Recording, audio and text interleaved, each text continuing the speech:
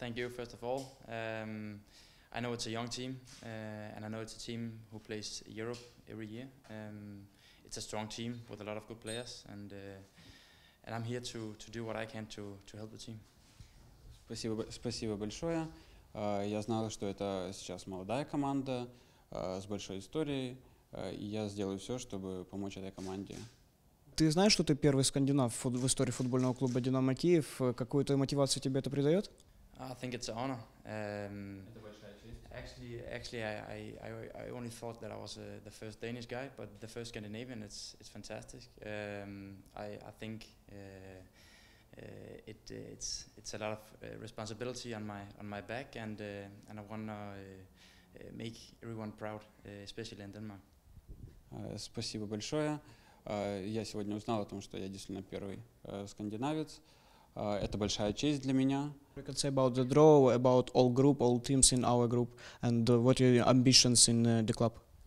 Oh, I think we uh, we should go through, uh, and I think we should go through as number one. Um, I have seen a lot a lot of games of of uh, Dynamo, and uh, and I think there's a lot of potential in the in the, in the squad.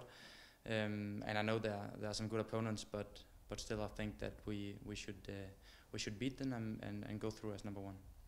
И я знаю, что у нас будут тяжелые игры э, в этой группе, а, Но тем не менее я считаю, что мы должны выходить с первого места из, из группы.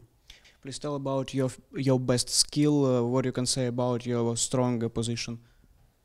Um, I like to have the ball, uh, and I like to to uh, to uh, to to dri- dribble with the ball. Um, I think I have some good passes and, and, and some good skills. Uh, have some good uh, uh, shots from outside the box and as well inside the box. Um, but mostly of all, I like to set my teammates up, start the the uh, the attacks, um, and then just uh, provides a lot of goals and hopefully assists for the squad.